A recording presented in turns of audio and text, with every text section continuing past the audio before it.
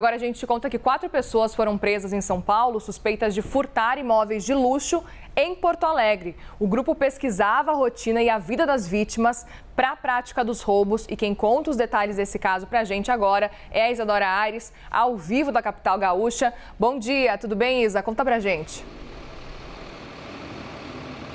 Bom dia para você, Muriel. Bom dia para todo mundo que nos assiste. As investigações da Polícia Civil do Rio Grande do Sul descobriram que esses criminosos saíam de São Paulo para praticar os roubos aqui na capital gaúcha.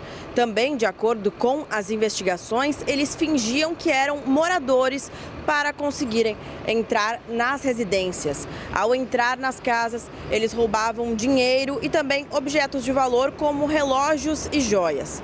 A polícia informou que tem conhecimento de crimes cometidos entre os anos de 2023 e 2024 em imóveis localizados nos bairros Moinhos de Vento, Rio Branco, Jardim Europa e Bela Vista. Todos são bairros de classe média alta aqui de Porto Alegre.